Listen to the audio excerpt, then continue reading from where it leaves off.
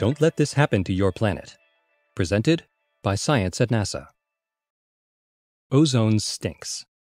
People who breathe it gag as their lungs burn. The EPA classifies ground level ozone as air pollution.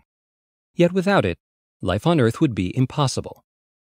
A fragile layer of ozone 25 kilometers above Earth's surface is all that stands between us and some of the harshest UV rays from the sun.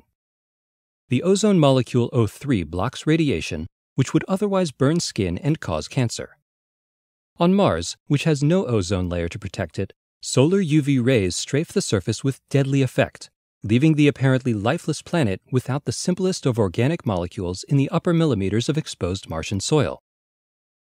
To keep track of our planet's ozone layer, NASA is about to launch the most sophisticated space based ozone sensor ever, SAGE 3, slated for installation on the International Space Station in 2014.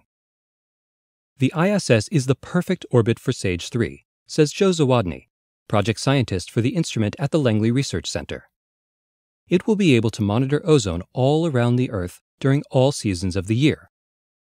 SAGE 3 works by using the Sun and Moon as light sources.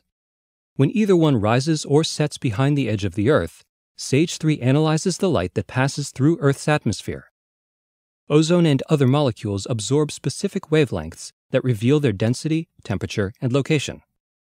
SAGE 3 is essentially analyzing the colors of the sunset to track ozone, says Zawodny.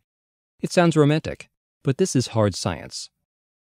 Researchers began to worry about ozone in the early 1970s when University of California chemists Sherry Rowland and Mario Molina testified before Congress that man made CFCs, a key ingredient of common aerosol sprays, could destroy ozone in the stratosphere. In 1985, researchers with the British Antarctic Survey announced abnormally low ozone concentrations above Halley Bay near the South Pole.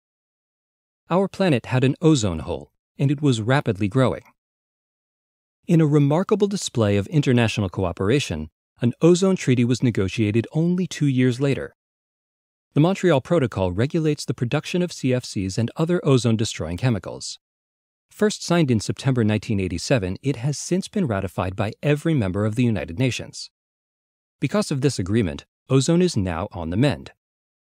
Ozone holes still open every year above the South Pole, but thanks to the treaty, ozone destroying chemicals have either leveled off or decreased. At this rate, the ozone layer could recover almost fully by 2050.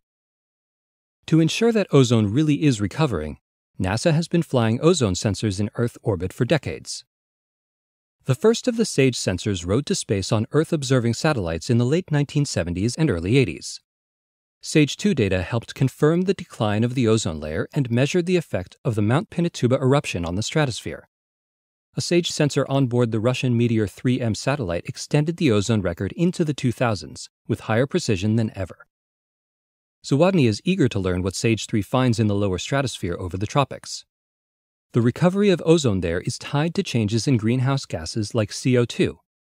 Given what we know about recent increases in greenhouse emissions, it is possible that ozone in the tropics will never return to 1980s levels. SAGE 3 probes Arctic regions too. Using the moon as a light source, SAGE 3 can detect ozone during the darkness of polar winter where other satellites have trouble seeing. It's enough to make a hard nosed researcher wax eloquent. Images of the moon and sun rising and setting are dramatic and spectacular. The interplay between the source of light and the environment delights the senses and stirs the imagination. The ability for Sage 3 to turn those perceptions into something meaningful is a great pleasure. In other words, get ready for some beautiful ozone data. For more information on Sage 3 and our atmosphere, stay tuned to science.nasa.gov.